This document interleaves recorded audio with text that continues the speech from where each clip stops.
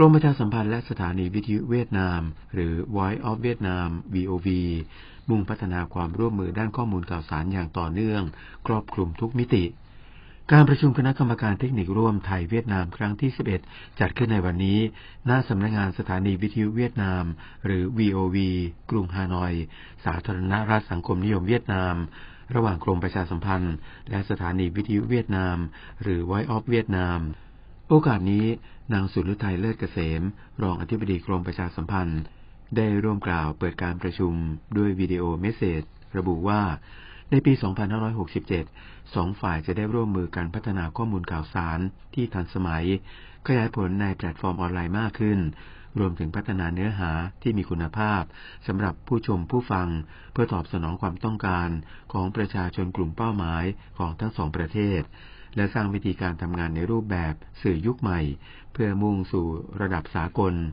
ซึ่งคณะผู้แทนฝ่ายเวียดนามที่ร่วมประชุมนำโดยนายโงมินเฮียน รองประธาน สถานีวิทยุเวียดนาม นอกจากนี้นางสาวพนิกนิชาไกรเลิกผู้อำนวยการส่วนกระจายเสียงต่างประเทศ เป็นผู้แทนของสถานีวิทยุกระจายเสียงแห่งประเทศไทยเข้าร่วมประชุมด้วย จากการประชุมกรมประชาสัมพันธ์และ VOV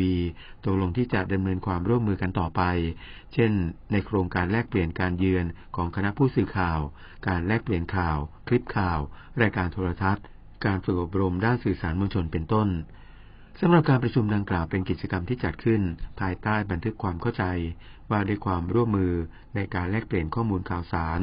ระหว่างกรมประชาสัมพันธ์ และสถานีวิทยุเวียดนาม หรือ VOV ซึ่งมีความร่วมมือด้านสารสนเทศ การกระจายเสียงและภาพ ตามกรอบความตกลงบันทึกความเข้าใจ มาตั้งแต่พุทธศักราช 2542 ภายใต้โครงการกิจกรรมต่างๆ อาทิ